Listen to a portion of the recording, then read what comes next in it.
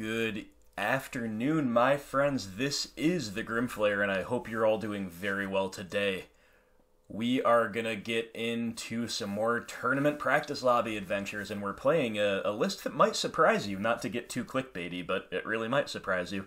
Um, but first, a, a couple quick things.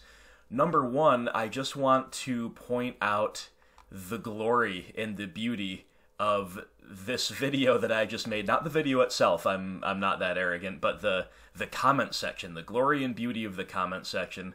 We have just absolutely incredible commentary going on. Specifically, this uh, interaction between Renato and Dan. Um, some really, really high value conversations going on here, in my opinion. Renato, in particular, has a pretty interesting take on on a lot of um, you know on a lot of cards that that can see play in a deck like ours. So, um, and Dan, as always, is is very insightful. So, if you guys have not read through this comment section, taken the time to to read all of this stuff, um, not just the conversation between these two guys, but just in general. Lots of really good insights. I have a really, what, what seems to be a really, uh, a, viewership that skews toward the, the intelligent and the thoughtful. So I just want to say thanks to everybody for making even the comment section on these videos a joy to participate in and a joy to read. And I wanted to give the people who don't necessarily check those out the admonition to probably do so. Like you're going to get some some pretty cool takes on things here. Might give you some new ideas. Um, the other thing we we have to do here is give a shout out to some patrons. So for those of you who maybe only watch gameplay videos, you haven't heard the shout out to our two newest patrons as of earlier this week, Ronald Poon and Kenny Nguyen, who are a confidant and a tireless, respectively. So thank you again, guys. Thank you so much for supporting the channel. And on top of Ronald and Kenny, we have yet another new patron to thank. Mark Williams, he is a brand new patron, um, our newest one, and Mark Williams is also a member of the tireless here, so very generous of you, Mark. Thank you so much, my friend. Very glad to have your support. And as always, to all patrons, old and new, to the new bloods and the OGs, I thank you so much. You make all of this possible. So, with that out of the way, like I said, you know, do yourself a favor and take a look at the comment section on, on this video here. Definitely one that is well worth looking into, in my opinion. And then, we also, as a bit of a segue, have a surprise deck list, like I said, that we're going to be running through some some practice matches today.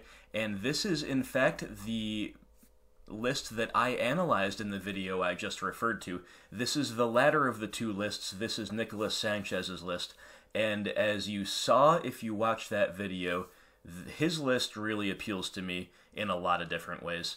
Um, I have made two changes. I resist the urge to make more. These two changes are more out of necessity um, than anything else. Number one, I am not playing the third Overgrown Tomb, even though I'm kind of curious as to why he has the third one. That was one of the bigger question marks for me as far as his deck building went. But I didn't really feel like buying a third tomb because I just don't think it's correct. And I don't think I'm ever going to play a third tomb, but I, I could be wrong. So I'm willing to stand corrected if anyone has some insight into that, but for now, I replace that with an Urborg Tomb of Yawgmoth because I am interested in continuing to test this card. So, not exactly a like for like switch by any means, but it's just a, a swap I made, you know, like I said, because I didn't really feel like buying the Overgrown Tomb. Um, speaking of not feeling like buying things, Surgical Extraction is just about 50 ticks, and I ha- picked up a second one for this, but I did not pick up a third because uh, oh, that's just like when when a digital card when pixels on a screen are multiple times more expensive than the paper version. I don't know, maybe I'm old fashioned. I just can't really I, I can't really do that with a smile. So I um I and I'm as you know, if you've watched my deck techs, I am still a fan of the more value oriented graveyard hate plan involving lots of Nihil Spellbombs. So I, I met Nicholas halfway. My own list right now plays three spell bomb, one extraction. His list is the inverse. It plays three extraction, one spellbomb. I met him halfway. I picked up a second extraction. I can I can see playing two in the future myself. I'm not going to go any further than that though. So, but we've got some interesting stuff going on here. If if you haven't seen my video, perhaps check it out. Uh, analyzing his list, but some stuff you don't always see, like Triple Kitchen Finks we're very. It's grind city. We got four confidant and four tracker. So, without further ado, let's have some fun. Let's go on some adventures in the tournament practice lobby. And uh, see how this very grindy setup goes. It's very grindy, but it's also very low curve. So, an appealing combination, I must say. We've lost the die roll. All right, I quit. This deck sucks. Hand looks good to me. Hand looks very, very good to me. No matter what they're up to, we should be able to put something together. And our opponent has mauled as well.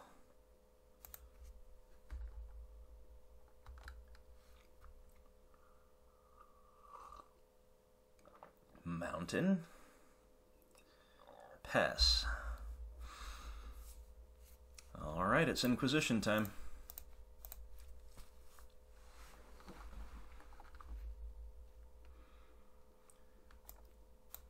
Alright, this is some kind of a combo deck I'm not exactly familiar with. They've got the Priest that adds mana. I guess I just take the Bushwhacker here.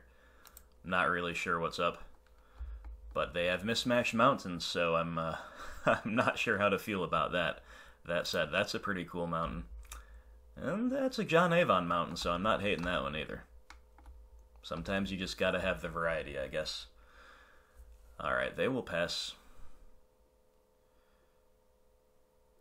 And it's time for us to play the Tarmogoyf. I guess we will. I guess we're gonna fetch a forest to. Uh... I guess we don't need to do that quite yet, do we? We don't need to quite do that, so we won't.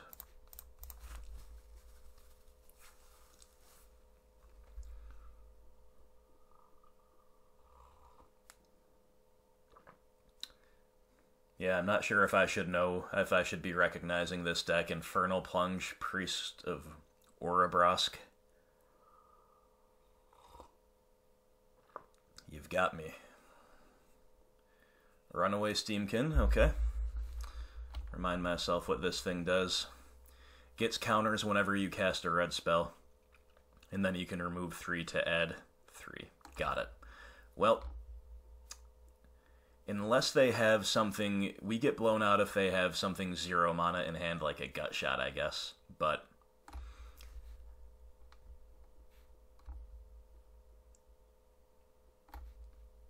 I still think we should go for the super high upside of kill this thing by ticking the Liliana up. Seems really good.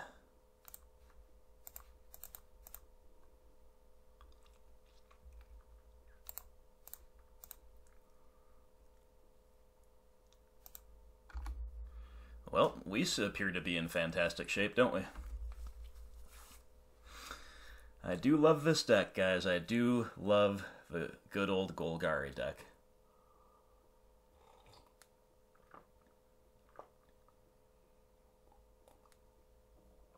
Experimental Frenzy. Okay. Okay.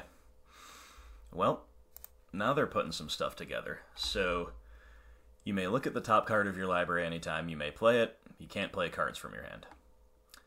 They've got Plunge and Priest in hand, so they're not doing all that much right now with the cards in their hand, so I think I'm just supposed to trophy that thing away. It's also going to grow the Tarmogoyf.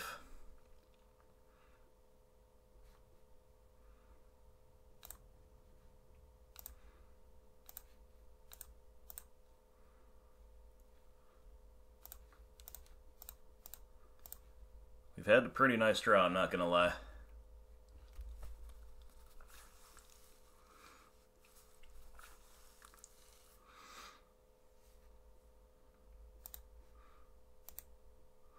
Yeah, 6-7 Goyf seems okay, huh?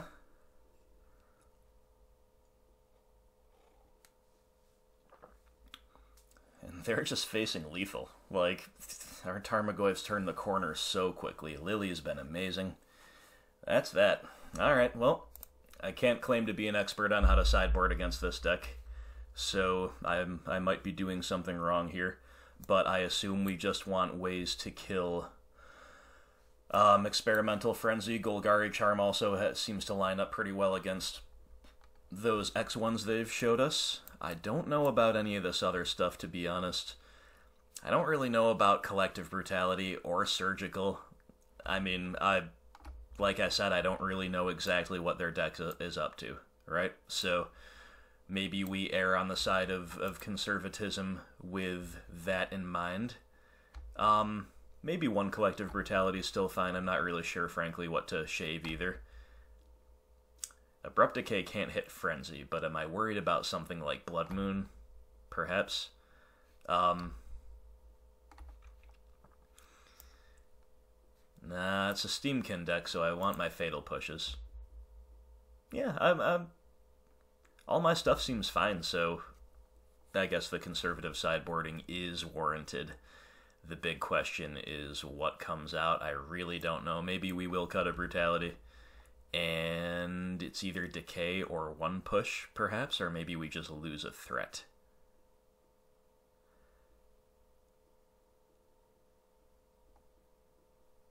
I'm going to cut a Scavenging Ooze. Might be horribly wrong. Maybe I should be trimming away other things, but...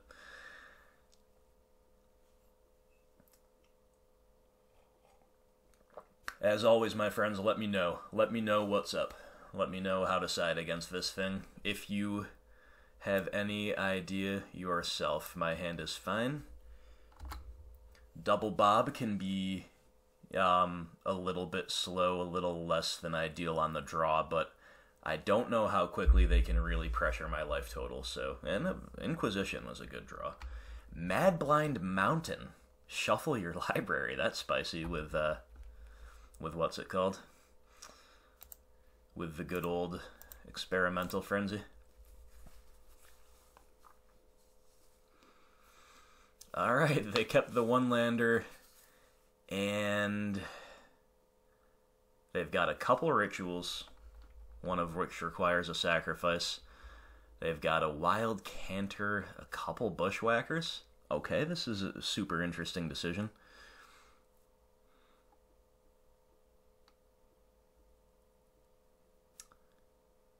Hmm.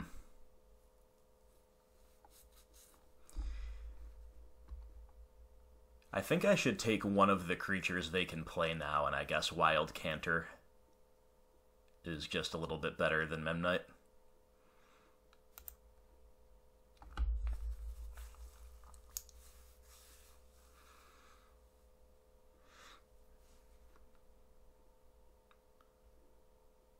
Alright, they found a relic for a turn.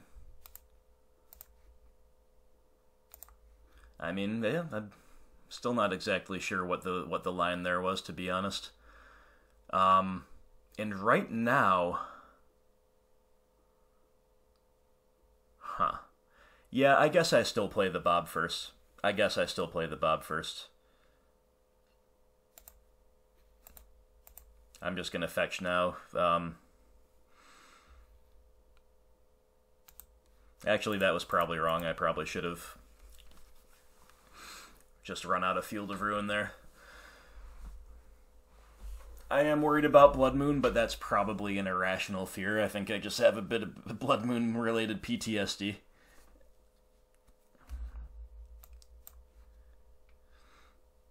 And they they were not quite on Moon Mana yet unless they wanted to ritual it out, right? But still, these are the things that, that keep me up at night.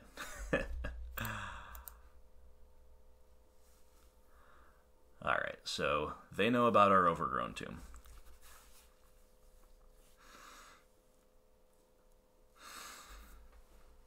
Yeah, I mean, this relic is uh,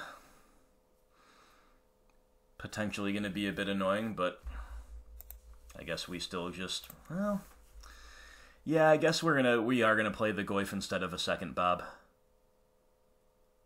because then we if we play the bob we either can't hold up fatal push or we have to shock i don't know. Let's attack.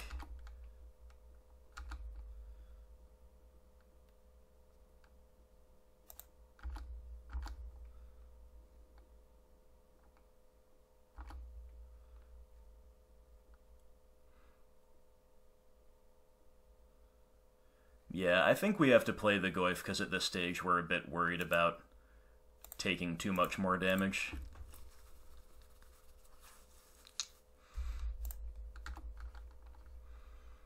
Double Fatal Push in hand is going to stymie their... Um, the strength of their Bushwhacker turns to some degree. I think they missed their chance to Relic on my end step as well. Not necessarily to crack it, just to activate it.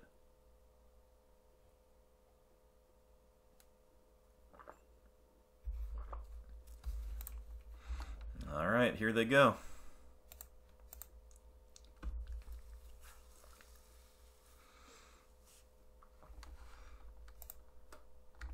Steamkin, yep.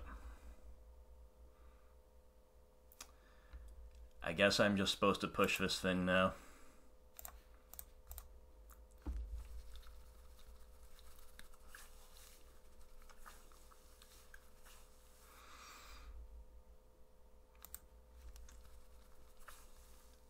Alright, that'll do it. Okay, good enough for me. So, that was a mono red Steamkin Bushwhacker experimental frenzy deck. Um, not too sure about the nuances of, of such a deck, as you can see. Um, feel free to enlighten me in the comments, but seemed like a reasonably easy win to me, but granted, we had good progressions both games.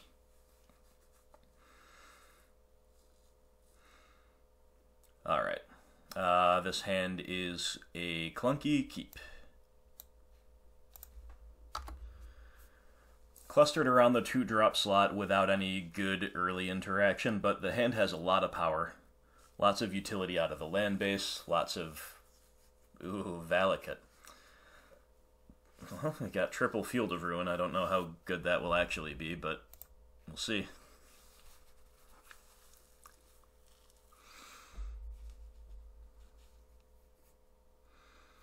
Sakura Tribe Elder.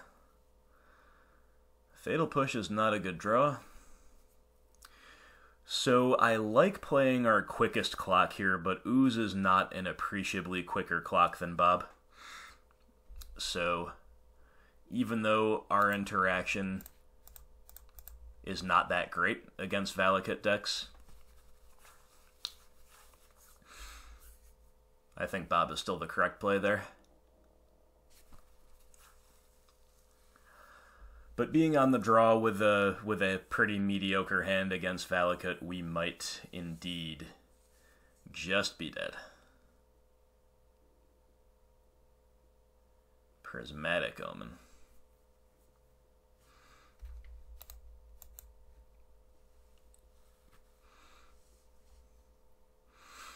All right, well, I mean, Thought Seizing is going to put us below that magic number of 18, but we pretty clearly have to do it.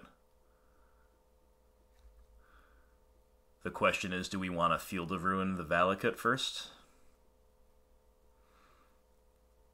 Don't think that accomplishes anything right now. So I guess it's going to be Thoughtseize and then probably Fetch Play and Ooze.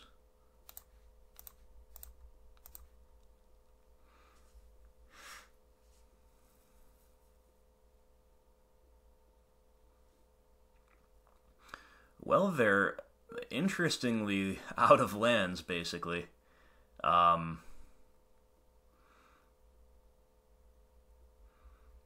yeah, so it's going to be the Titan because they need more lands to scape shift than they've uh, than they're anywhere near having.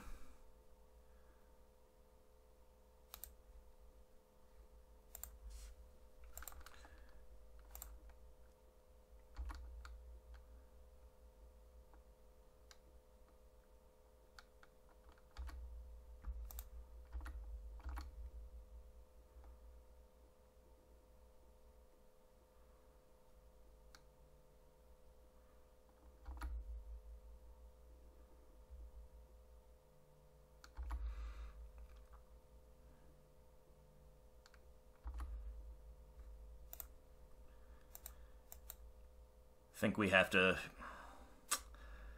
Mmm, tough call here, actually. Very tough call. I think at this point we just shock. We want access to double black, obviously, and, and double green doesn't seem bad either.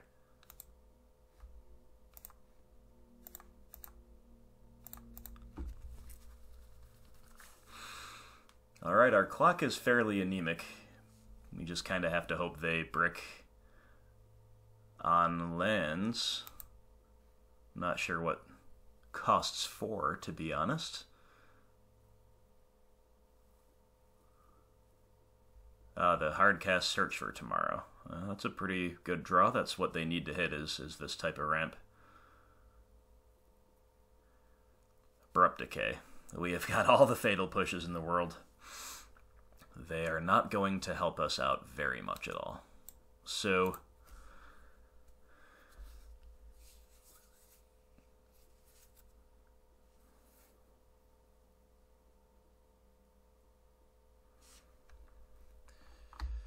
Valakut, if you control at least five other mountains.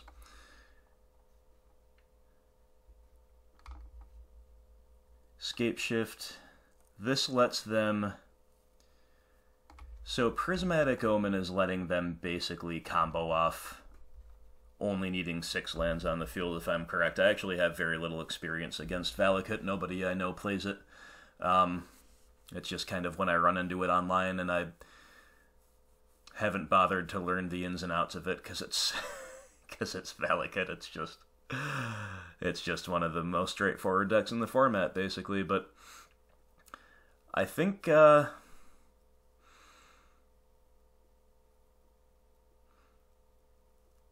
I think these Fields of Ruin are pretty poor as things stand, and I don't think we gain a ton from you from utilizing them as things stand because a natural land drop doesn't hurt us with a Valakut trigger yet. And I guess technically it thins out their deck a little bit, makes them a little less likely to hit that natural land drop, but I think we're just supposed to fire up the Hissing Quagmire and get in. That actually seems kind of bad. That actually seems a bit bad simply because its clock is so anemic. So maybe I will use the field and then eat a couple creatures with the ooze, and that will have the same result. Why don't we do that?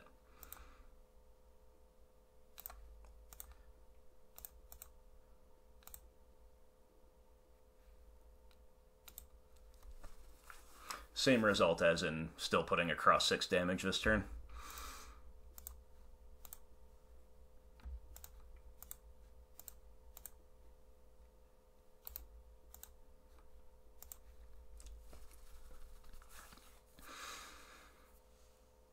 Well, they hit the land, so good times.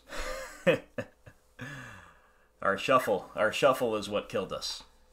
The, sh- the shuffle we gave them, rather. Yep, that's uh, that's Scapeshift. That's Titan Shift for you. You can't Thoughtseize the top of the deck, as the saying goes. That is all right.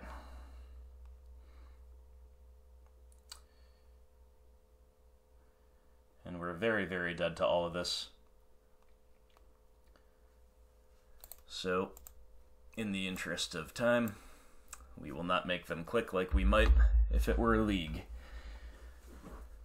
Um, so Fatal Push is a card that comes out as is Abrupt Decay, and of course our hand was flooded with those, which was not really great for us. Um, Liliana the Last Hope is not very exciting either. So these are all candidates to be cut. We love our Fulminator Mage here. We absolutely love it. Um, this is a surgical extraction matchup. I think we want both. Um, Collective Brutality is fine to hit their ramp spells and and Scapeshift itself, of course. And all right, so we've got enough to bring in with this with uh, with Nicholas's build that we can just move all seven of those over and from here, Maelstrom, Pulse, and Kitchen Finks are, are basically considerations. I think Golgari Charm is a bit too cute. Um, it can basically kill Prismatic Omen, and that's fine, but Pulse can do that. Pulse can kill Titan. Pulse can kill uh, other value creatures they bring in. So Kitchen Finks is the other consideration, but I don't really see anything I'd rather cut. Maybe, like, this is a bit of a race. Maybe we're supposed to shave some number of tracker for some number of Finks. Is two tracker out, two Finks in? Is that too much? Uh, maybe. What if we hedge one tracker, one Scooze? I kind of like that. We'll see how it goes. Maybe we can take away a land with blackmail. How cool would that be? That's that's my goal. That's my goal in this uh, game two, and game three if we get there. Let's thought seize your land, please. that would be awesome. Why, yes, I will play first, and there's no blackmail here, but the hand's good enough.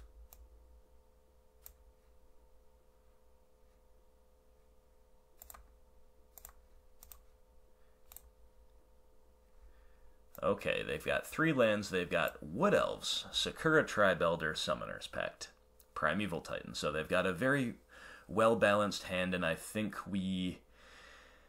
Ah. I was going to say we just take the cheapest ramp spell, which is Sakura Tribe Elder, but the Wood Elves is an expendable blocker um, that can actually trade with our Confidant and wall off his attacks after it's resolved. They don't need to sack it to get value like they do with Tribe Elder. So I think I actually want to take the Wood Elves. Um,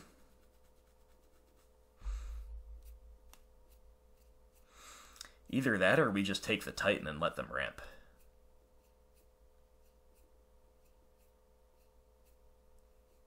This is a tough spot. Um, maybe I am just supposed to take the Titan. I can believe that. We don't have a good clock this game either. If we had a turn 2 Tarmogoyf, I might consider uh, taking away the Wood Elves or or indeed the tribe elder, depending on what else was going on. Fulminator is a good one, but still no third land. We're having another painful progression as well. However, Bobby should help us hit that third land, and then we we might be putting something together. Here comes the Elder. Yep. Third land. Tireless Tracker. Kitchen Finks. Dude. Dude. Not good. Well, I think I think we just lost the game right then and there. To be honest.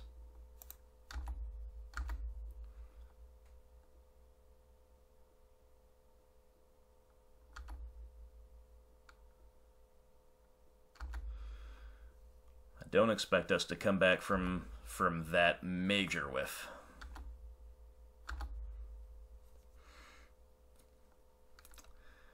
And uh, yeah, I have to say that was that was pretty unlucky. Here's the Wood Elves. And I don't even think it's it's worth trophying anything here. Oh boy. Alright, they're gonna have the Summoner's Pact. We are just pretty dead to that. Yeah, we've gotta gotta hang on to our trophies, as awful as this is. Um Tarmogoyf, Verdant Catacombs. Alright, well, I mean, now we just. Man, missing that land just just killed us. Because now we basically have to hold up trophy here. Unless, well, no, unless we just play Fulminator. And then hope to draw a land next turn and have a double spell turn. Yeah, maybe we just play Fulminator and Stone Rain.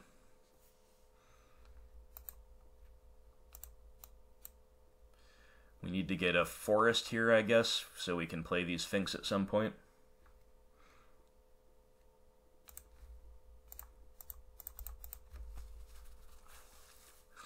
Man, how good would you have been last turn, guy?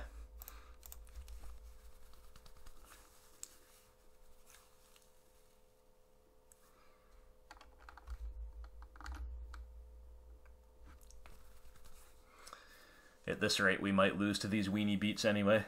We've had a very painful progression.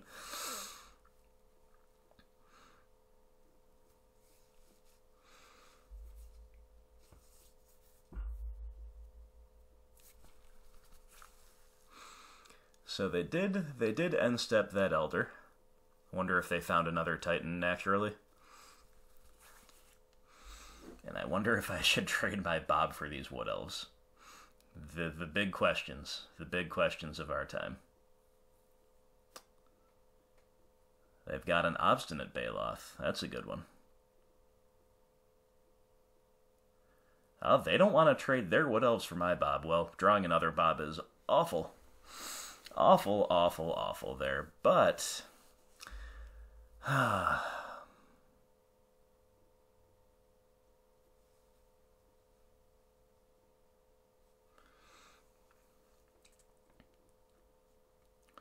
Drawing another land is good. So. There's no instant in any yard, so I guess we have to hold. I guess we have to play Tarmogoyf and hold up trophy here. Tarmogoyf can rumble with the Baloth if we can put an instant in the yard profitably.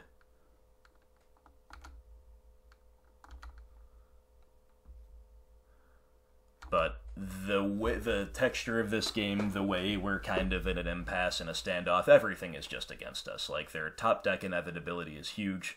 We're under a ton of pressure, life total wise. None of this is good. None of this is any good. All right. What did they pact for?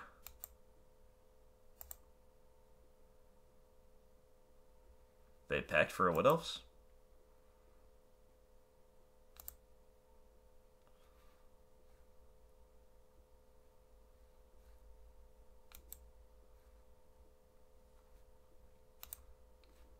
Okay. They have the Scapeshift, so...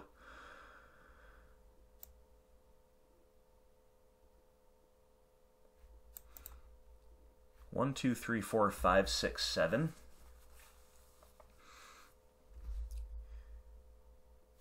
If we destroy a mountain with all the triggers on the stack, that doesn't work, right? Because they get to go get another one. Well, I'm going to do it anyway. yeah, as you can tell, this matchup is is very bad for us. As I'm sure you all already knew. But we have been able to escape with some wins.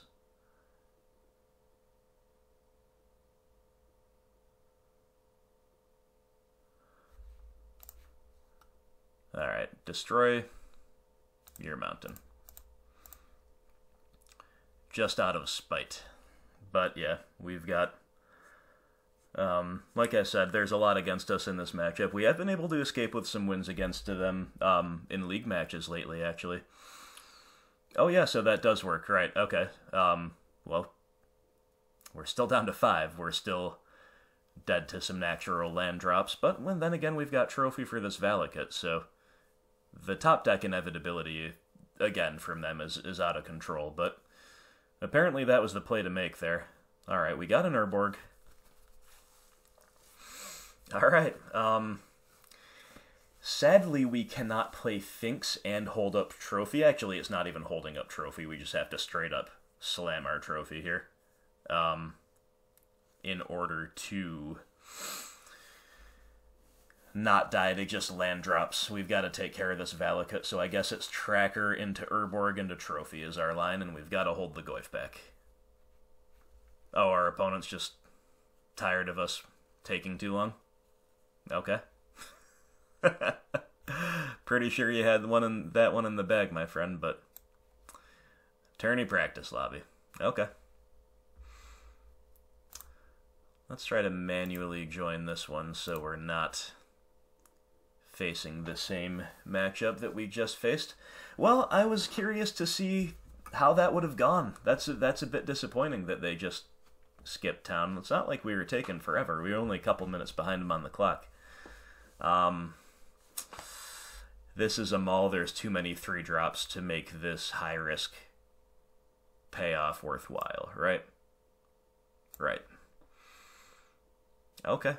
I mean, it's not great either, but blackmail? Do we keep a blackmail on top? I don't think we do. Yeah, I mean, our hand is slow, right? And we need interaction, but. Oof. Is this a mirror? Might be a mirror.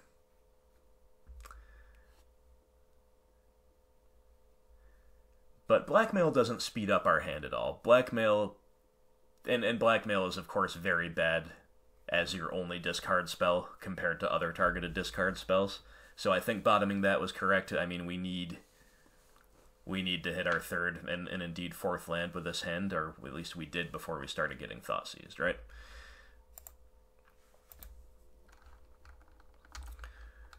Scooze is looking a little whatever right now because again we wanted to see lands and right now we only have access to one green. Looks like it's a mirror match. I'm very unhappy about the mirror given my hand in the, that I had to mull and that I'm on the draw. All of these things are bad for our prospects here. Okay. Dark Confidant makes me want to do this because we really need to find a removal spell for him, and that's very tilting. that's very, very tilting. Well, we're going to play Tarmogoyf. We will have the the pressure advantage. Confidant's going to pressure their own life total, and Goyf is a huge beating. That said, if they have a Liliana the Veil, or if they have a kill spell, to be honest, we're probably pretty dead here. Um, if we had our third land, though, we can cleanly answer the Bob. That said, I kind of expect them to have another discard spell. I think if they only had that Thoughtseize, they would not have taken our redundant copy of Lily the Last Hope. They're attacking? Alright, is there going to be a follow up collective brutality? Honestly, if there is, I don't care. I want this Bob off the field. And I don't have any other way to do it right now.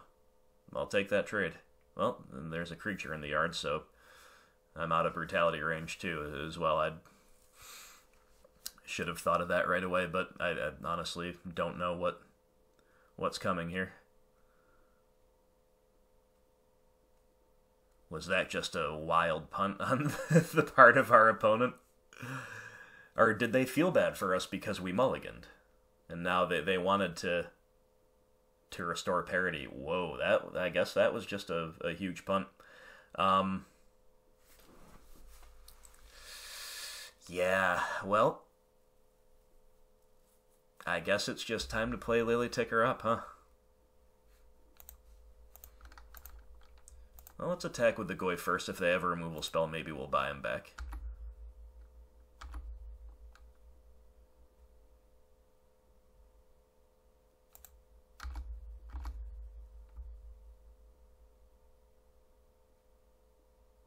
Trophy. Yep, you got it.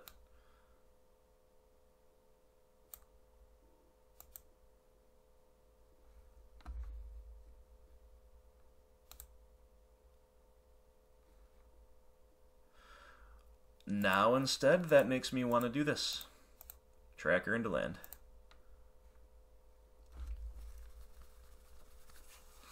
Well, this all worked out okay, but it required our opponent to just suicide their their confidant into our Tarmogoyf. I, I won't say no to it, though.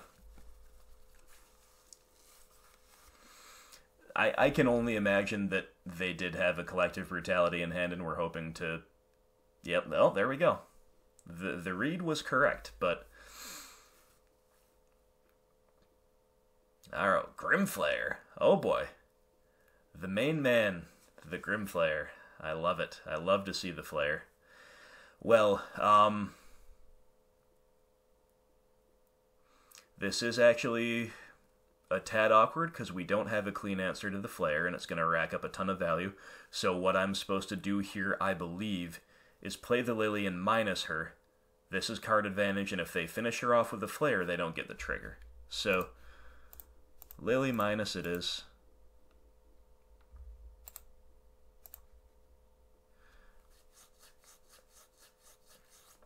Tough call here as well. Um, I think it's actually going to be a Tarmogoyf because I want something that outsizes that Flayer immediately. Tough call, though. and that also lets me run out this Blooming Marsh without quote unquote wasting it. And uh, with how many mana sinks I have on the field, I have uh, I have Field of Ruin, I have a Clue, I have uh, Scooze's activations potentially next turn. Like we just we just really are incentivized to make that land drop, you know. The Grim Flayer attacking the Grim Flayer. I mean, you can't trust anybody anymore. It's coming at me, so they like the uh, they like getting the trigger, and I don't blame them. It's a very powerful effect.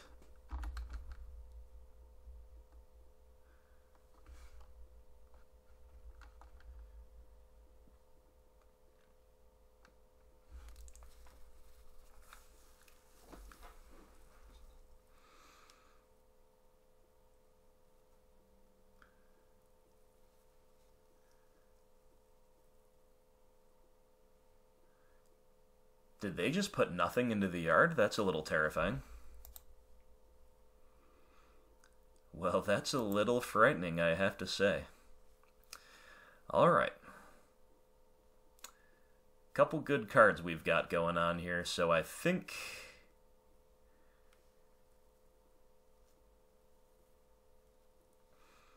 Yeah, I think we have to play Bob. Scooze we can slow roll for just another turn. And I don't know that it really matters who we shrink here. So we'll just... Yeah, I can't see it mattering.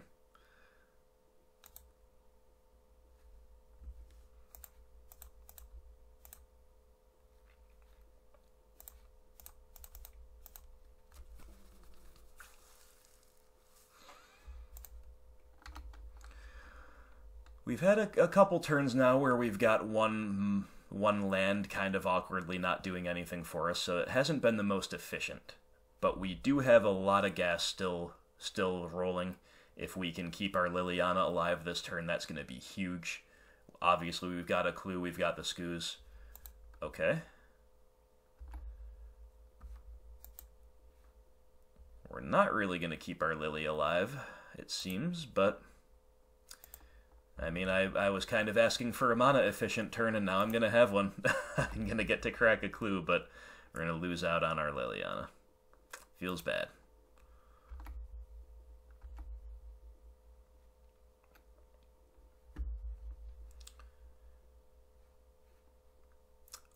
Only Grimflayer attacking Lily.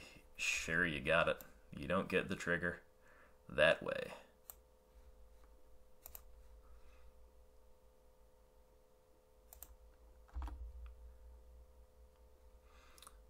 Alright, now if they don't have a way to kill this Bob, we still might be in pretty good shape, but they do.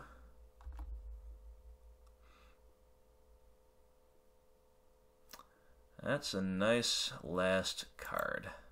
Not gonna lie.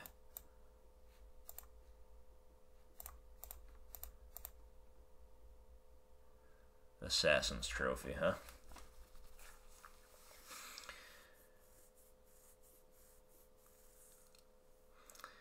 So yeah, we're gonna trophy something in response to their lily taking up. That's the plan.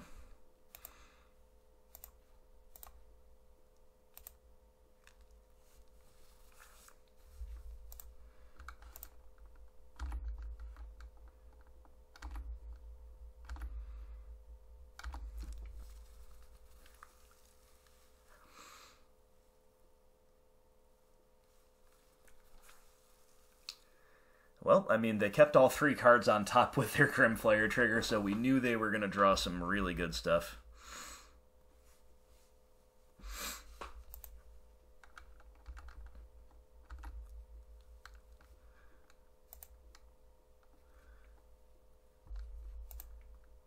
Yep, just got to take that hit.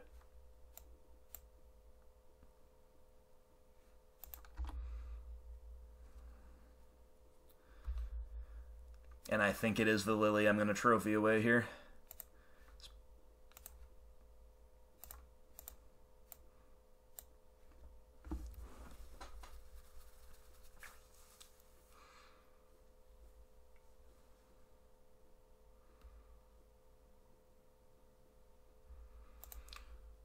Just going to do this stuff now.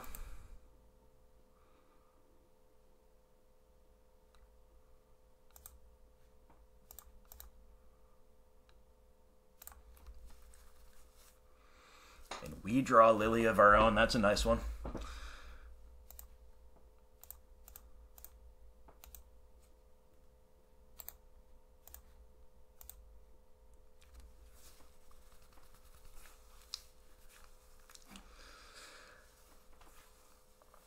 So a couple options here. We can just leave the ooze back to block, or we can plan on blocking with Hissing Quagmire. Interesting call. Interesting call.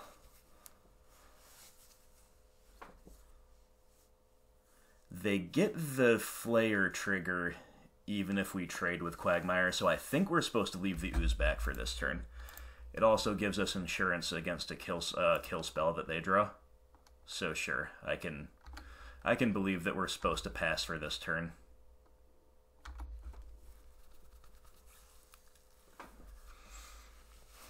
Try to really ensure that our Liliana goes to town. Alright, time to gobble up some things. I think we'll just leave a Tarmogoyf in the yard.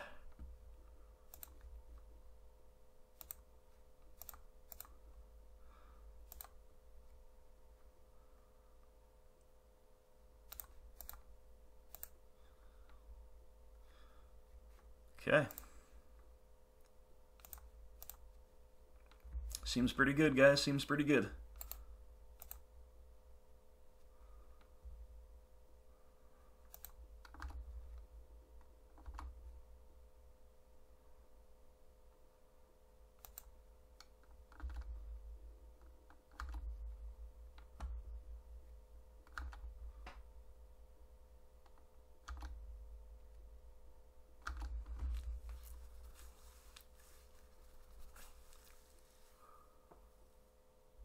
Whew, yeah. But here we get to uh, fire up the Quagmire in response to the Edict and sacrifice that.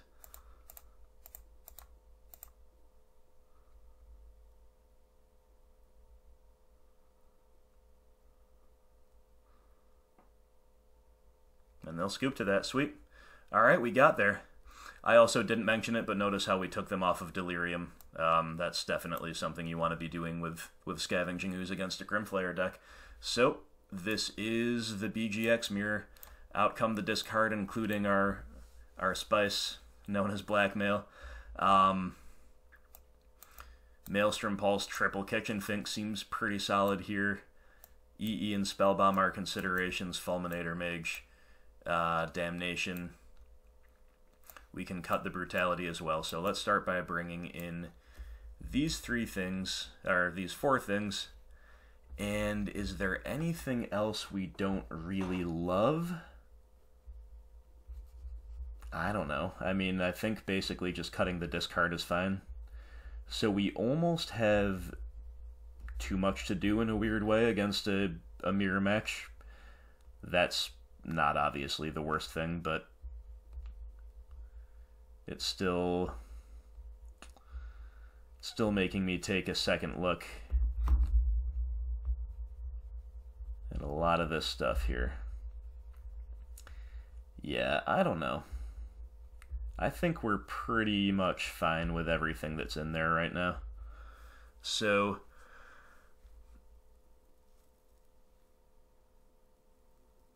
EE seems good, especially when they're showing me the Flayer. I'll take a spell bomb and I'll take two Fulminators. Maybe we leave out the Damnation. Maybe Fulminator's less good against straight Golgari. Let's let's actually try the Damnation.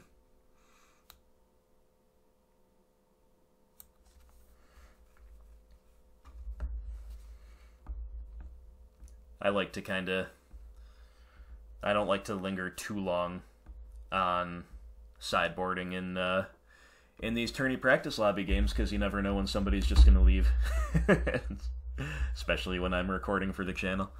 Uh, opponent will keep seven, so will we. We don't want them all. Our hand is Clunk City, but we don't want them all.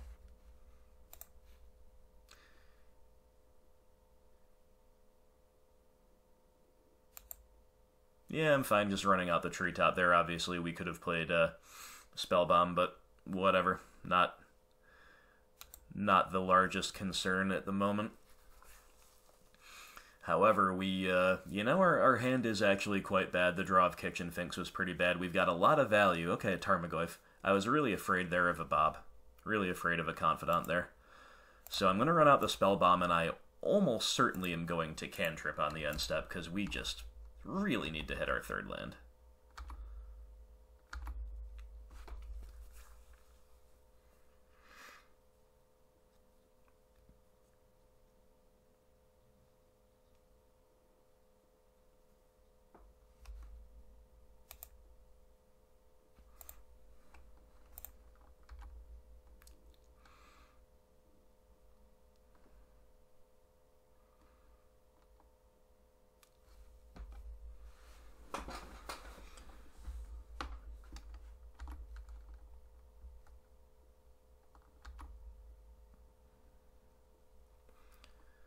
Alright, if they've got a Liliana of some kind, if they've got a draw engine of some kind, none of that's good.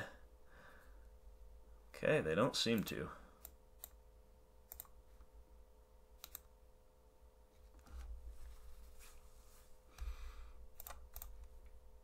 Okay, we did it.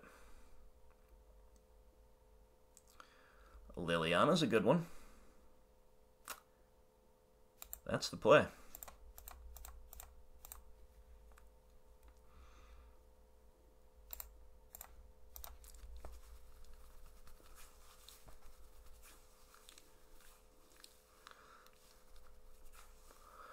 Alright, we've got all the gas in the world in our hands. I mean, any any draw's a good draw here. Tracker into land, sweet. Kitchen Finks is sweet. They've got Tracker into land of their own. Okay, Assassin's Trophy. You know, I think I actually have to trophy away that tracker before it gets out of control. This also sets our Lily back to two. So, let's do that. And I think I'm going to pitch my Damnation, because I don't see it like, I've got to have more creatures than them. I've just got to. So it was either that or maybe pitch the Fulminator Mage, but I think I can pitch the Damnation here.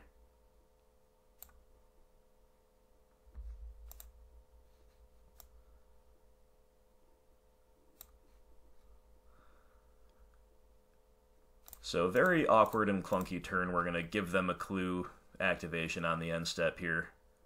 We don't get to make a fourth land drop of our own. We're very behind in that regard. But again, the power, the gas in our hand, I'm pretty confident at this point we're going to get there. Um, I might be less confident against something like Jund, because then they could, with, with for example, a Bloodbraid Elf, they could take the Lily off the field and catch back up on card advantage. So that is one there are windows in which Bloodbraid Elf gives Jund such such the ability to to catch back up or to turn the corner or both. Um, that's a good one. That's a good one. You guys know that I think Golgari is better than Jund overall, but it's close, and I respect where Jund has the edges. Oh, they're not buying anything back, huh? Well, fair enough.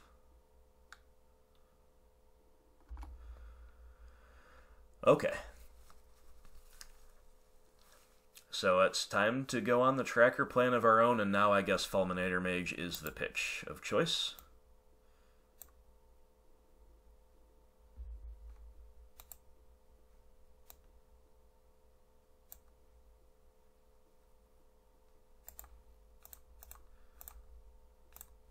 There goes a collective brutality.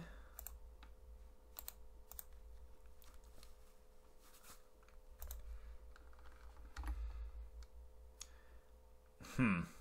You know, I actually might want to fetch now in case they have Fatal Push, because there's no Revolt trigger. If they have a Decay or Trophy, then they got me. I'm going to try it now.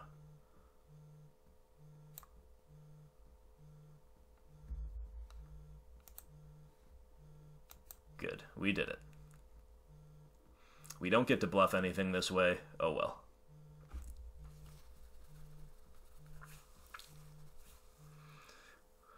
Yep, it's the Lily the Lily Wars. We are still ahead on cards, but uh that Lily the Last Hope looks like she's just gunning for the ult. So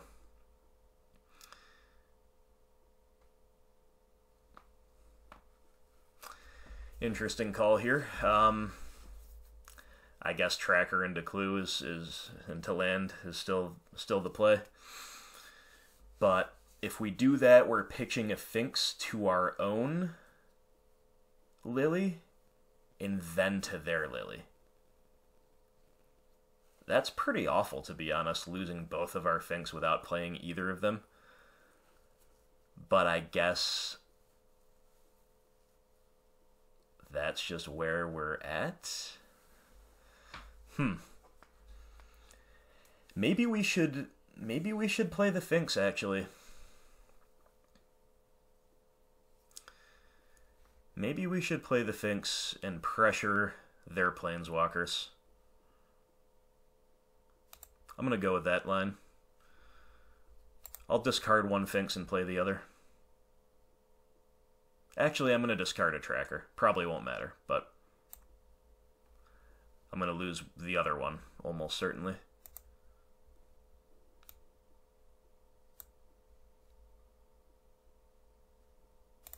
Fatal Push.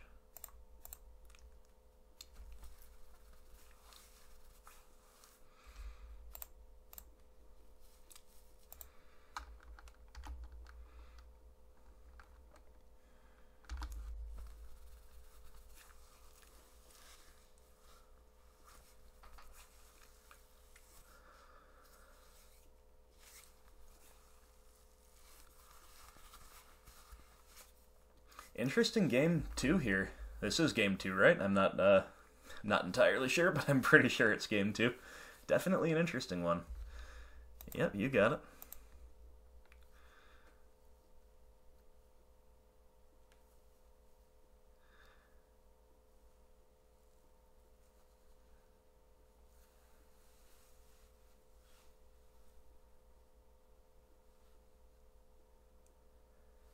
So if their veil ticks up, I guess I am cracking a clue in response to see, just to get more information. They've got a Bob. Yep. And they're not taking up their Lily of the Veil, huh? Very interesting. All right, we draw a Lily of our own.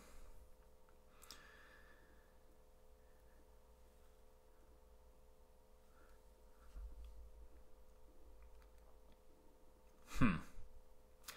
Now I don't know what to do. Because edicting is the asymmetrical thing to do. But yeah, and I, I, I, think I am supposed to just edict. Whatever they have, if they sandbagged it, they can almost certainly play it in a response. Maybe it's another planeswalker, that would be the only real reason not to, but I want to edict here.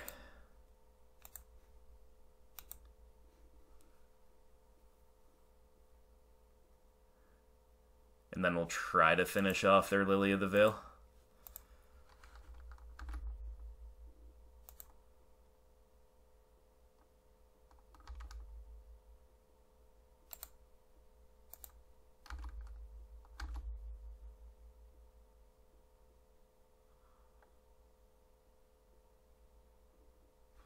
Fatal Push. You got it.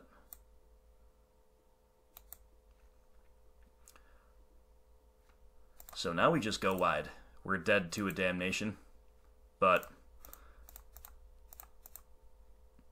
if they can't rip a, a languish or a damnation, they're in big trouble.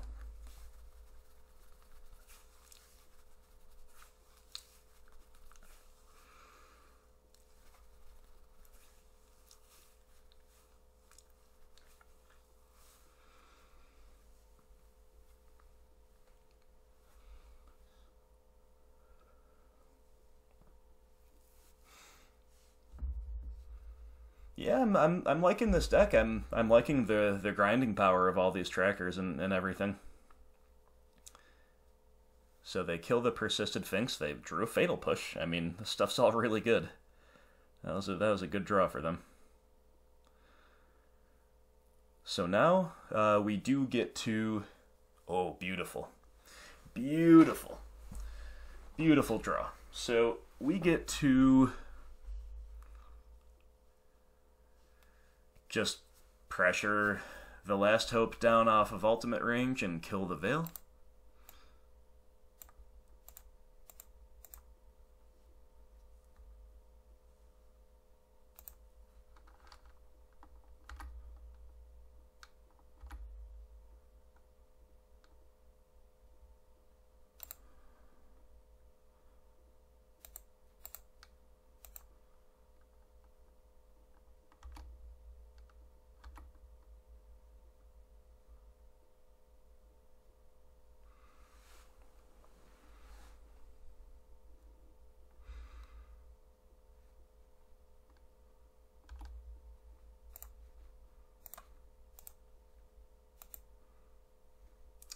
Absolutely great for us.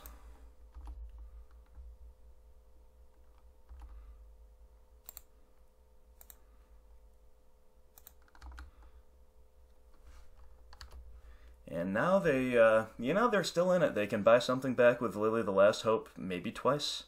Um, they just ripped a card off the top, but heck of a game. Heck of a game.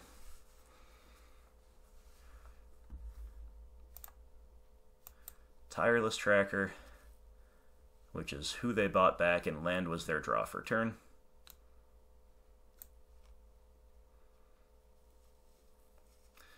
That's a pretty good little sequence, lots of value there, but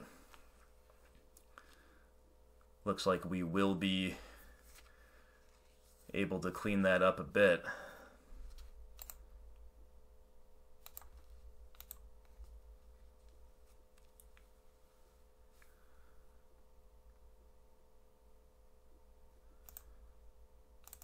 Crack a clue.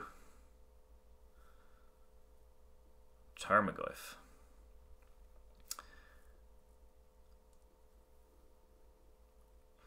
That's a fine one, but I want to make sure the Lily dies this turn. So I'm not going to do anything besides attack with both. Because they obviously can crack a clue find a fatal push here.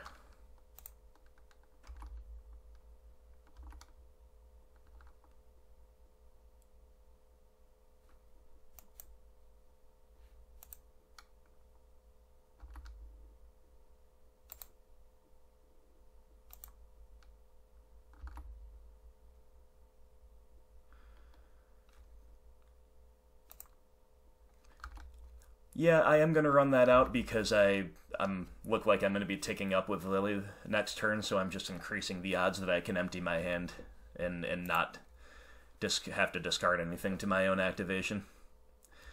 Obviously, I'll regret that if I rip a tireless tracker off the top, but these are the types of, uh, of things you can't really be sure about. Okay, well, it paid off.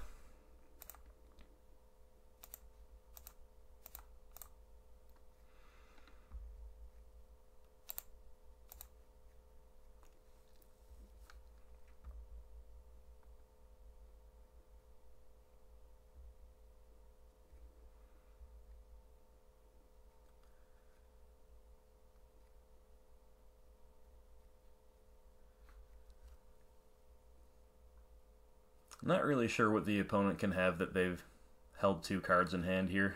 Languish is out of their hand. Sure.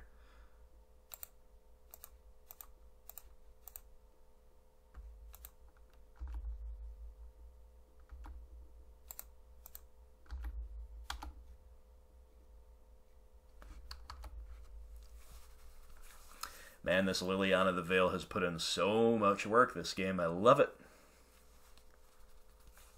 and we do have lethal on board, and they're just going to scoop it up. All right, that was a cool. Uh, that was a cool two and zero oh against the mirror, and neither game looked great for us from the outset. However, these games go long, and we got there, and it was good. It was good. It was good. It was good. Let's play again.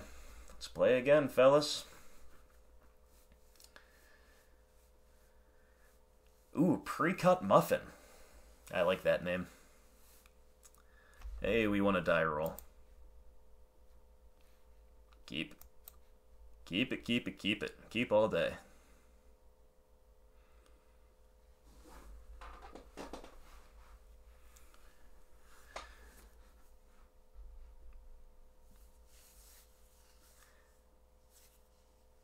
Opponent takes a mull. Always kind of start. My eyes light up in anticipation when I've got a double discard spell hand and our opponent takes a mull. That is often extremely good for us. Whoa, I don't know what this deck is. It's just some kind of ooze tribal. Love it. Love the ooze tribal. They've got double ether vial. I think I'm supposed to just start taking away their oozes. so let's take away this ooze. Truly hilarious. I love it. So Bloodhall ooze, this is the Jund ooze, right? Yeah. If you control a black permanent, you get a counter. This thing is super, super duper ooze value, right? Okay, so I think I am supposed to take the Bloodhall ooze away. Just because. Actually, now that might not be true. Maybe we are supposed to. Maybe we are supposed to just play the Goyf. Start clocking. The risk for this is that my Inquisition might blank because they can go, they can play a Vial, they can Vial in the blood ooze, and maybe they don't have another target. But you know what? If they don't have another target, then I'm probably doing okay, right? So, let's Inquisition.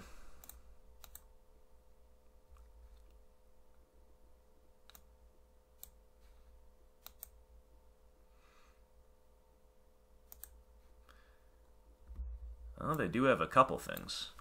Grizzly Salvage in this deck? Interesting. And then Predator Ooze. This thing's indestructible. I'm taking that.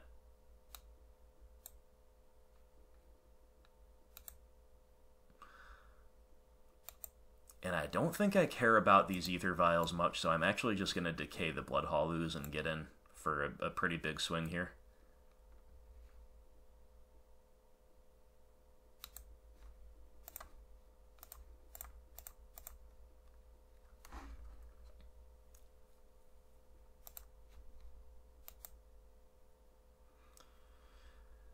So one of the reasons I, besides indestructibility, I took Predator Ooze is of course because that can be vialed in, and they might not be able to really cast this Grizzly Salvage anytime soon. They need to not only hit an actual land drop, but it has to be a black land. So that's pretty good for us. Um, Lily of the Veil is also pretty good for us. Let's attack with the Goy first, see if we can draw any vialed creatures out, I suppose.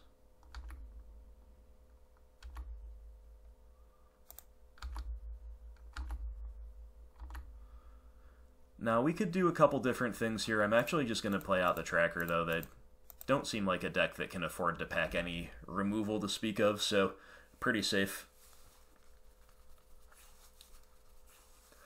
Obviously, Lily taking up is was a consideration there, too, but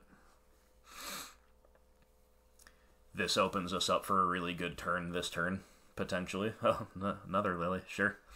Well, we're just attacking.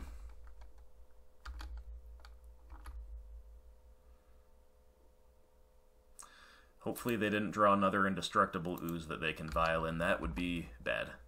But we could at least edict it. Uh-oh, on three. No, they did it! That's hilarious. Oh well, we got this.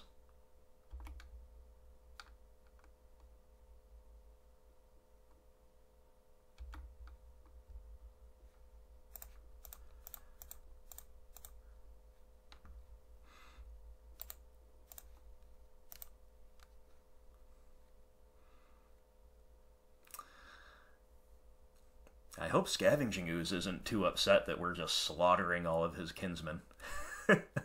I wonder if their deck plays Scavenging Ooze. Ironically, probably not. It doesn't seem very good in their deck. Um, they would be depending on they would be dependent on facing a deck like ours that puts a lot of stuff in the graveyard for Scooze to really do much there. But then again, they're a Grizzly Salvage deck, so who on earth knows? Grizzly Salvage is a little awkward with this Ancient Ziggurat, though. That I can tell you. That I can tell you.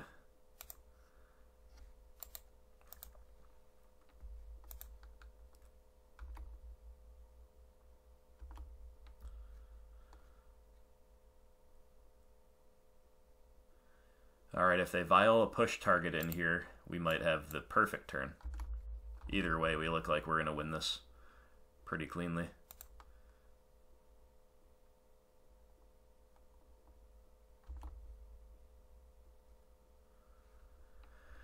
Uh, yeah, sure.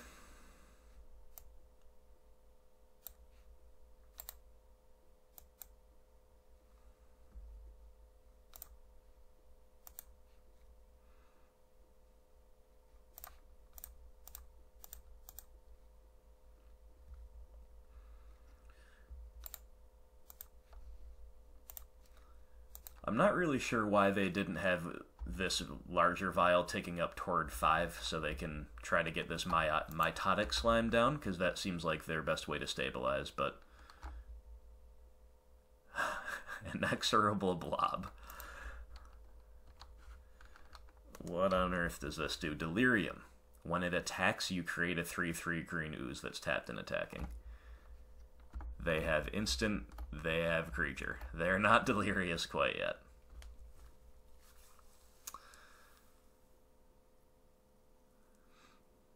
Now they can finish off our Lily of the Veil, but then they're probably just dead on the crackback.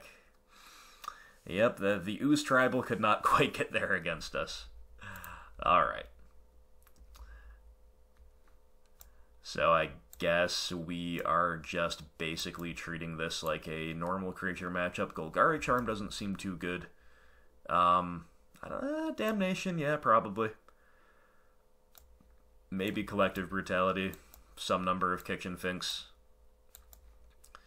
Um, I guess I'm just going to cut away some discard spells to begin with. I kind of want to leave Thoughtseizes in to hit that mitotic slime or whatever it was called and maybe some other things. So that puts us at 60 right there. Um, Lily the Last Hope might not actually have the most targets for clean kills, so I can see shaving one. Um, yeah, you know what? I kind of just like cutting away some discard here and bringing in a big pile of kitchen finks. That seems good.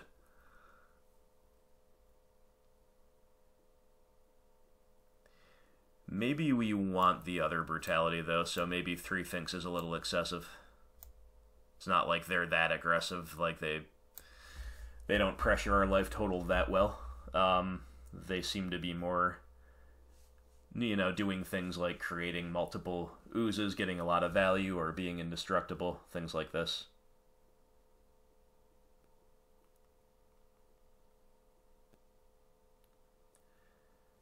I can keep. It's the no interaction keep, but we're doing it.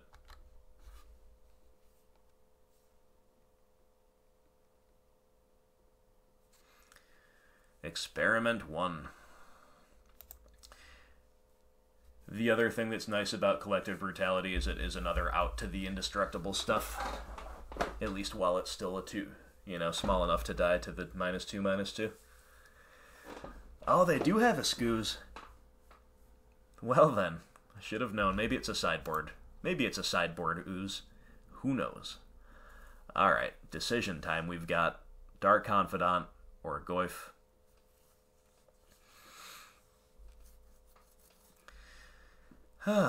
well, I still have faith in the fact that they're not pressuring our life total to an insane degree. So I am going to play the Bob here. It's very possible that they can just attack through the Tarmogoyf at least with that experiment one anyway, after evolving another time, but Oh man, I don't know what this card does either. Corrupted Zendikon. Enchanted Land is a 3 3 black ooze, it's still a land. When Enchanted Land dies, return that card to its owner's hand? Well, jeez. I think I have to take a block here. The clock actually did just get kind of real. Um, I'm gonna block. I'm gonna block the ruse. This is hilarious. I love it.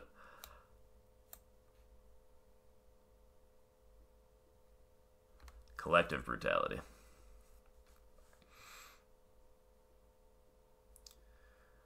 I guess that is likely enough to have other targets. Higher priority targets that I should just play the Goyf here instead.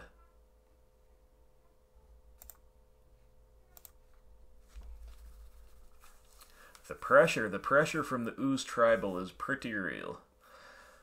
And you know, they're choked on land enough that maybe Experiment one was the better the better one to block there, but it is difficult to say. I can't say that I'm an expert at piloting against the the Jund Ooze deck. Is it even Jund? Did, did we even see red? I mean, we saw Bloodhall Ooze, so yeah. Yeah, Jund oozes. I mean, call me a noob. I don't. I don't know what the exact best lines necessarily are.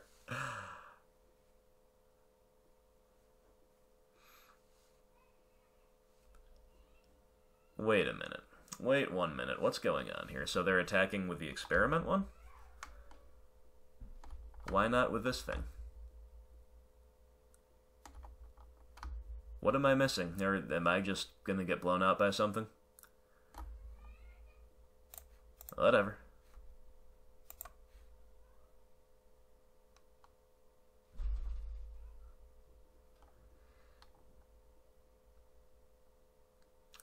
Paying costs. Necrotic Wound. Alright, so they tried to give it minus one, minus one, but instead they just grew it and it stayed the same. Oh no, I'm I'm sorry, my friend. That did not that did not go as planned. Well, I mean, I guess that happens sometimes. So they've got delirium, they've got undergrowth from necrotic wounds, so maybe I should have considered bringing in a spell bomb or two for this matchup. But regardless of that, I think after that little exchange, we are going to kind of coast to victory here.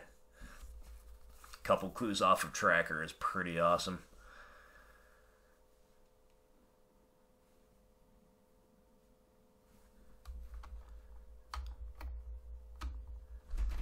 Minus X minus X, where X is the number of creature cards in your graveyard. Okay.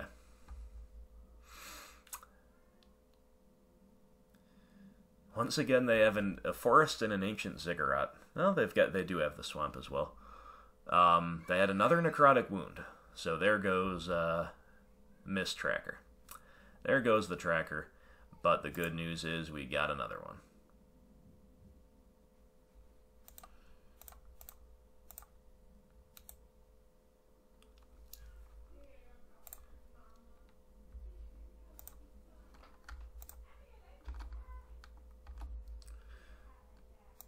Keep on clocking with the Goyf.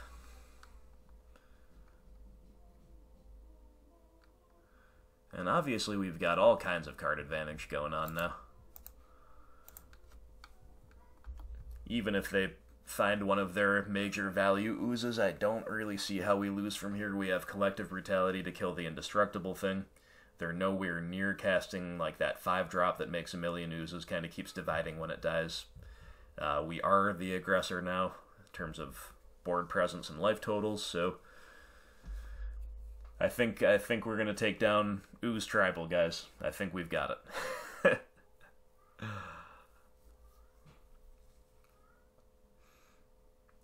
Opponents in the tank though, so who knows who knows what they could have. Could be anything.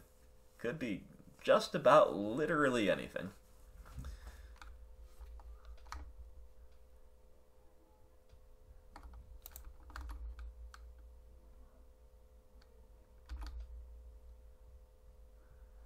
Alright, get to crack clues on the end step here. We found a kitchen finks, eh? So, playing a finks, cracking a clue is pretty much all we're going to do, so I guess playing the Blooming Marsh is more efficient. And we will attack because we can crack a clue during combat if need be.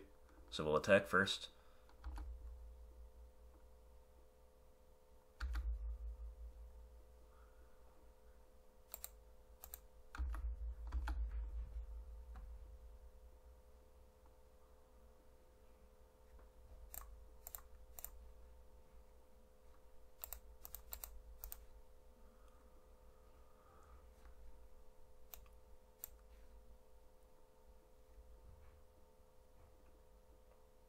Grizzly salvage, you got it.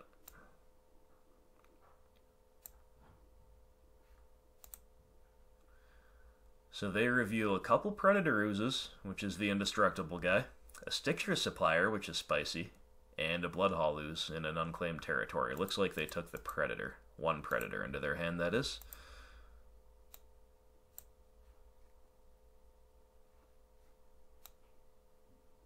They get to buy back that land. Wonder if they have any landfall synergies as well. That'd be kind of cool.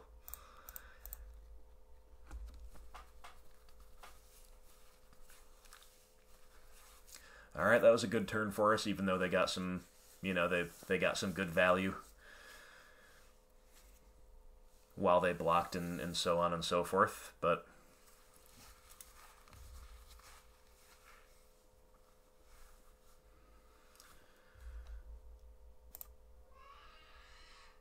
Alright, I guess we will begin by making a clue and then cracking a clue. Alright, um, yeah, let's just turn them sideways.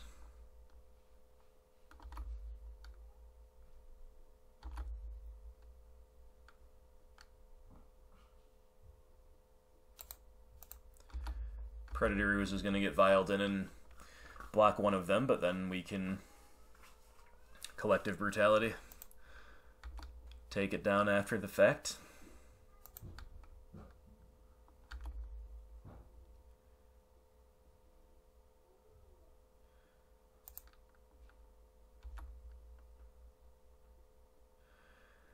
And I guess I'm pretty happy to escalate to pitch my damnation, because that's certainly not a card I'm interested in anymore.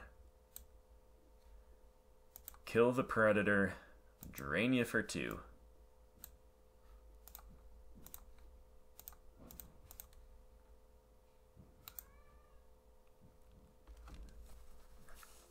That's going to do it. Oh, and you know what? There was no sorcery in the yard, but yeah, there's no real way I could have gotten lethal there beforehand. Either way, no big deal. We had him. We had him six ways to Sunday, my friends.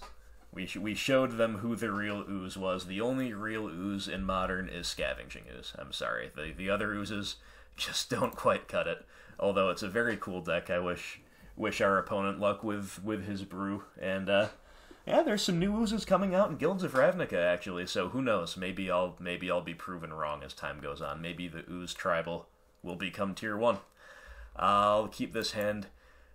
I should I should be done. I, I, should honestly probably have been done after that game, but I kind of want to play one more. Hopefully, it's not a really long, grindy one, but either way, it'll be my last game. I hope you guys are enjoying the uh, tournament practice lobby adventures. As always, looks like we are against uh, maybe Storm, but you don't usually see Storm playing fetch lands. Um, also, these tap ETB tapped lands are pretty awkward. They're making me at least consider running one of them out, but I think we should Inquisition.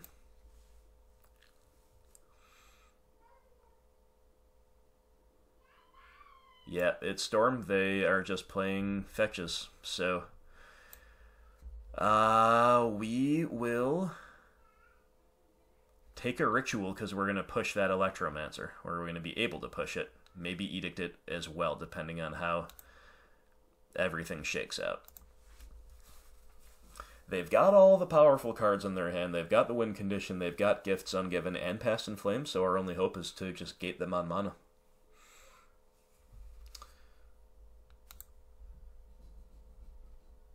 Looks like they are going to run out the Electromancer. Okay. I think I still have to push here, even though we do have the ability to play Bob. This also lets us Lily next turn, so yeah.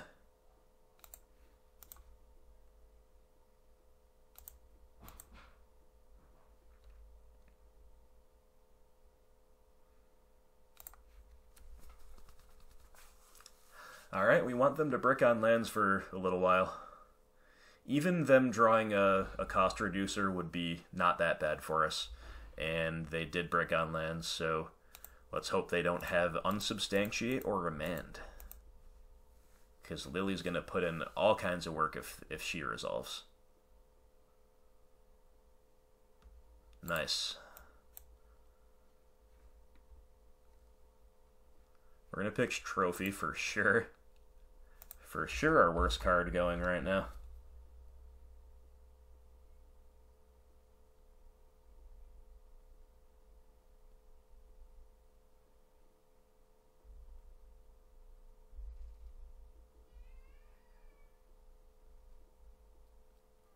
Now, are they able to find a land? No, they were not. Okay, we get to have a great turn.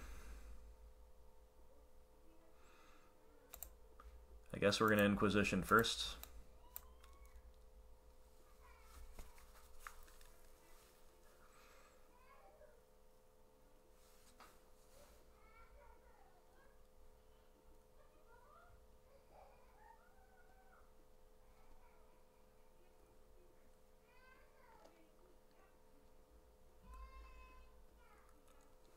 Hmm. Baral Grapeshot Lightning Bolt.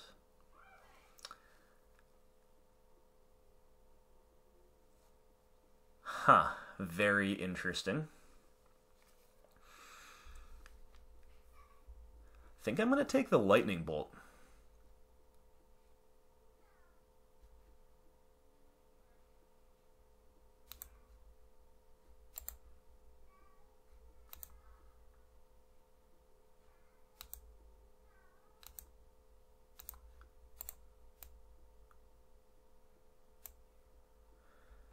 We'll pitch our field, play the treetop, play the bob.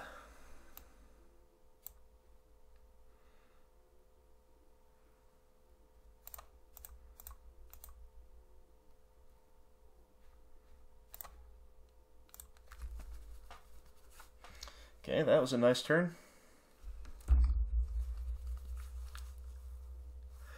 And now even if they draw a land, you know, like, obviously they're slow rolling the Baral because they need to deploy him alongside like a land drop and a ritual now? Or now just another another land drop basically but um, it was pretty safe to, to take him away there in my opinion. Now i'm not sure why they shocked in here.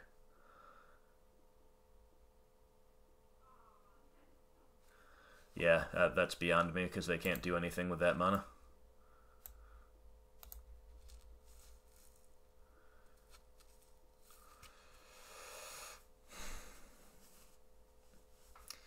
Yeah, I think I think I'm just gonna kill the Baral here. Even though we can get something out of their hand asymmetrically. Mana is still what's gating them, so...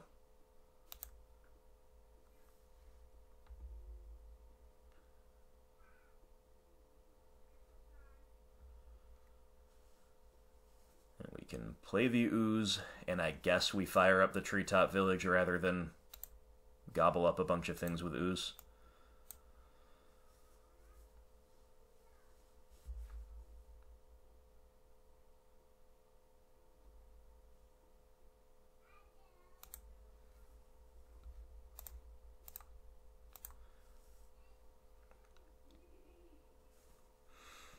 Hmm. Yeah,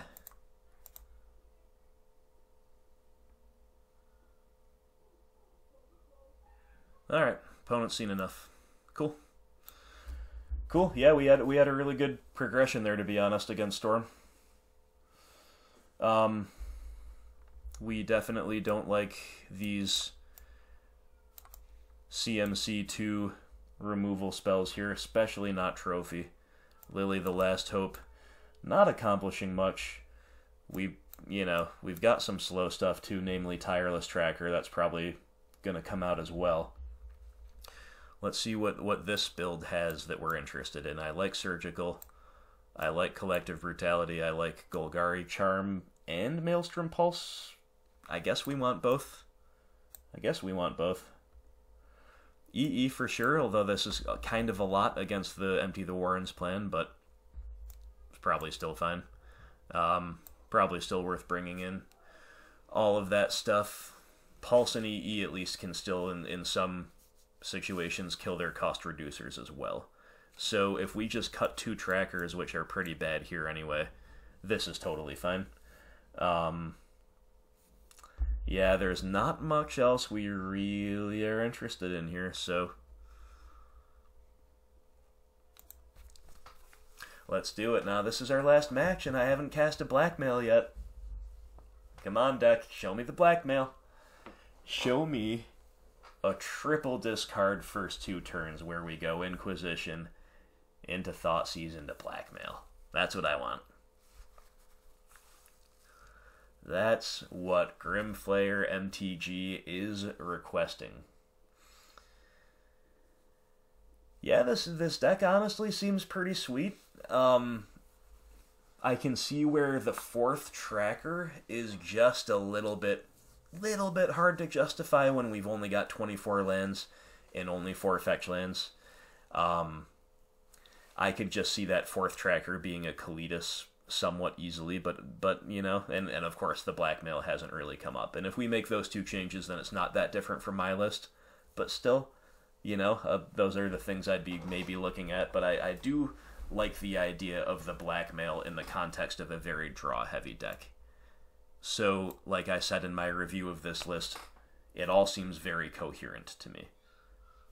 Um, but then again, a more stock list, a more middle of the road list like mine, also seems coherent to me, so who knows. But I am enjoying this list. I am enjoying these games and all that good stuff. Our opponent did have to mull once, but they kept a six and they led on a, a cantrip, so it seems pretty good.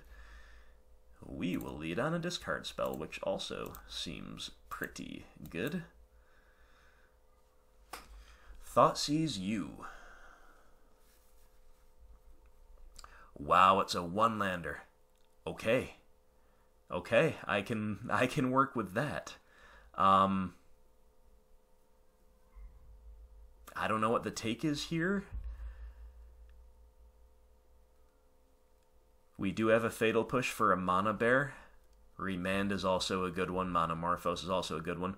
But I think I'm going to take a mana bear and just really try to strand them on mana like long term to the point where even if they hit a second land, we've got to push for their first mana bear. I don't know. Yeah, there's some arguments for Remand and Manamorphose there too. I don't think you're supposed to take the Grapeshot there. Serum Visions was a good draw though, but it didn't do it for him. Um, I guess we just play out our Grizzly Bear here.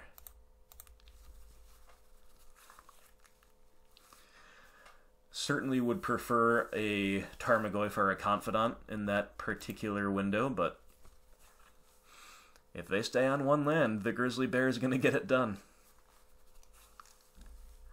They've got the second land, sure.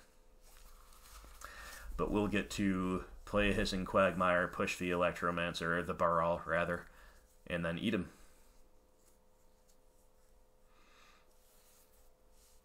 Get in for three. Or are they.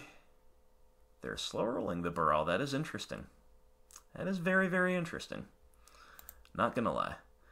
If they want a good remand target, I'm not going to give them one, but maybe they're afraid of Liliana of the Veil. They're respecting the Lily, which, I mean, I respect that decision, that's for sure. So, anyway. I think I actually want to play the Field of Ruin here rather than the Quagmire, so I can maybe end step hit the vents and, and that might matter. I don't know. Let's just attack.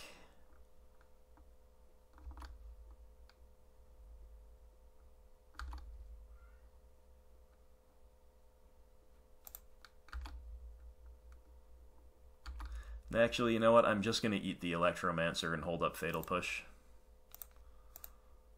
And Play my Quagmire.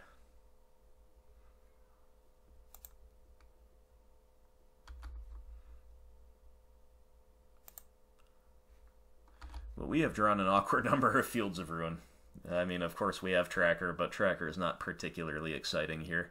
And the problem with all these fields is that we can't hold up Fatal Push if we go Tracker into land, next turn at least. Unless we, we see a different land off the top, which is bad for other reasons, but we at least kind of wasted their turn. And we're going to continue wasting their turn unless they hit more land drops or unless they just decide they cannot afford to do nothing anymore. Looks like they're really, really afraid of a Liliana. Hmm. Inquisition of Kozilek, huh?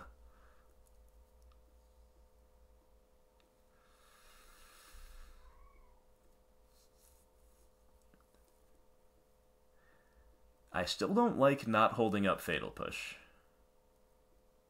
And I still don't like running a tracker out into Remand, so I think I have to Inquisition here.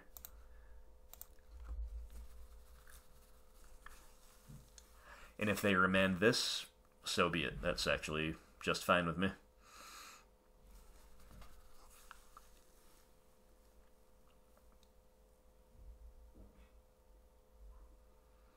They're not going to. Um, so pieces of the puzzle cannot get lands. It is only instants and sorceries. I am normally afraid of that card, but I'm not really afraid of it right now.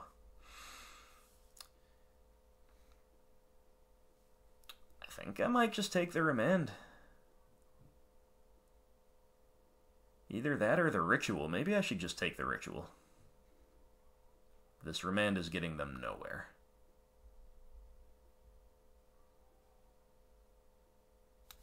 Yeah, I'll take a ritual away.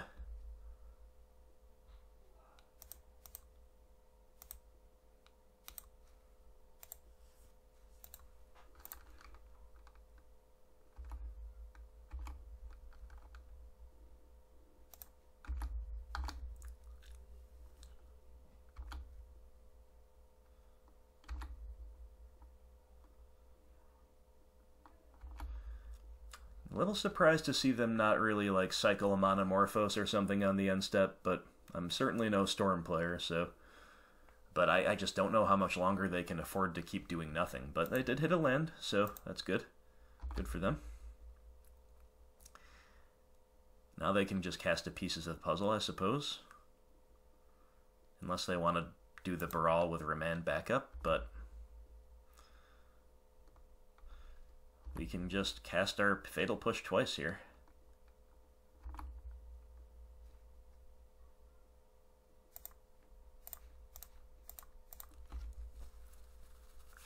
They'll get their value, but we'll get our we'll get our kill.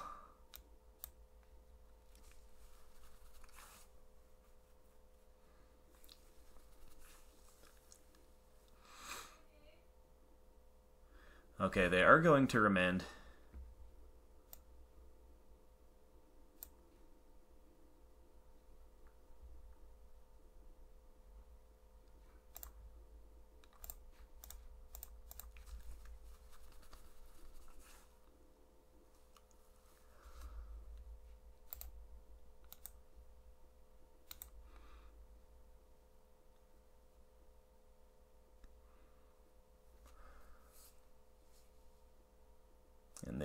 Away their Grapeshot. You got it.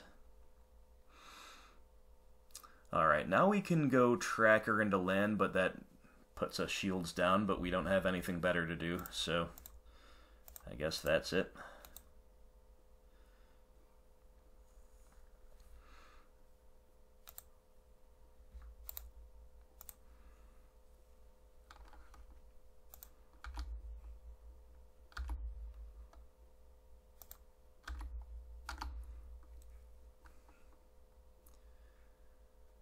Alright, is this going to be enough? I mean, if we decide it's safe to fire up the Quagmire, we will have lethal next turn. Even if we don't necessarily do that between cracking clues and eating that Baral, we might get there anyway. That said, our resources have more or less been depleted. We're, we're basically on the plan of turning these lands into clues, but that's of course quite slow. And they found another Baral, which is very good. But can they put anything together right now. They get a two mana pieces of the puzzle, but that's not going to be quite enough. Looks like they're trying to put something better together, which I think is correct.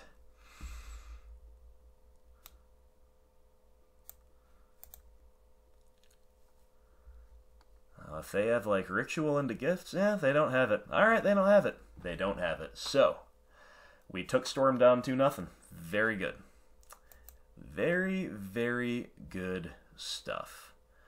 So, if I am not mistaken, we went 4 and 1 here with Nick Sanchez's 4 Bob, 4 Tracker, um, 1 Blackmail list. Unfortunately, we didn't get to blackmail anybody. This is the second time I've brought this card to a uh, a romp through the tourney practice lobby, and I have not cast it. Now, I did bottom it. I did bottom it once after a mulligan. You know, I think it was the correct call, but maybe I should have just kept it on top for fun. So we we continue to not be able to blackmail people into doing what we want. We just have to, you know, be a little bit more invasive by seizing their thoughts and and you know having an Eldrazi mind meld them or whatever the heck's going on there. So verdict is still out on blackmail. Let me know what you guys think. Um, I really want to like this card, like I said in the assessment of of uh, Nicholas Sanchez's deck. Maybe I'm slightly overrating it because of how unique and, and how cool it is. You know, it's a very it's an effect that you don't see anywhere else really, where it's a targeted discard spell. You can choose the target, and you can still take a land. That's pretty unheard of in modern and you know everything else about the card is cool, right? The the old printing, I love the art. You know the the name's cool. Uh, the flavor text is cool, so maybe the whole package has got me a little bit oversold on this card. But I think there's some potential here, and like I said in my rundown of this deck, I think it looks set up to excel in the context of this particular shell, where, excuse me, where you are set up to grind really, really well with all these trackers and all these bobs. Therefore, a higher premium is pra- placed on interacting early, which our one mana discard spells excel at, to make sure you stay alive long enough to start going off with cards like Tireless Tracker. It also mitigates the downside of having so many one mana discard spells, because if you've got the velocity of, of Confidant and Tracker working at capacity, you can afford a slightly higher density of bad top decks in the late game. So I that's my that's the logic that I see behind this list, and that's why I really like it. Um, seems really good to me, and I I believe we went four and one, dropping a match only to our worst tiered matchup, our literal worst tiered matchup, which is Titan Shift. So I will take it. Now, granted, we you know, we, we faced mostly real decks. We did face an Ooze Tribal. Um, no no disrespect to that pilot or that build, but it's not exactly a tiered deck. Otherwise, we were facing mostly good stuff, and uh, and yeah, just yet another good display with Golgari. Um, I don't have too much more to say about this particular list. We saw that that three Kitchen Finks is a little bit of an awkward number potentially. I don't remember the exact matchups where we thought it, but it's like, yeah, we want some Finks, but do we really want all three? You know, the Ooze matchup admittedly was one of them, but still, I can see that being being a tad much. I love the card Kitchen Finks. I'm surprised at how well it's done for me in this deck, but I think I might cap it at two. Um, other than that, I don't know. Obviously, the we need more games on a match on on a deck like this, but so far so good for a first run out. It's pretty sweet. So, um, yeah, thanks for watching, everybody. Thanks again to all of my patrons and, and to everybody who's not a patron. Um, thank you for supporting the channel in whatever way you can. Subscriptions are amazing. I want to hit that 1,000 subscribers goal, and we are slowly but steadily ticking up, approaching 300. Um, hitting the 1,000 subscribers mark is a huge benchmark. So if you have not subscribed to this channel yet, um, and if you're enjoying this content, please, I encourage you to hit that subscribe button. You know, like, share, comment, all this stuff is great. And if you want to financially support what it is I'm doing here, follow the link in the description below to my Patreon page. You can find out how you can get down on the tier rewards. It's a really good time. So, um, thanks again to everybody who's supporting the channel however they can. And let me know what you think about these games, what you think about the deck. I hope you enjoyed the tourney practice lobby live coverage, and I don't know what I'm going to do next on this channel.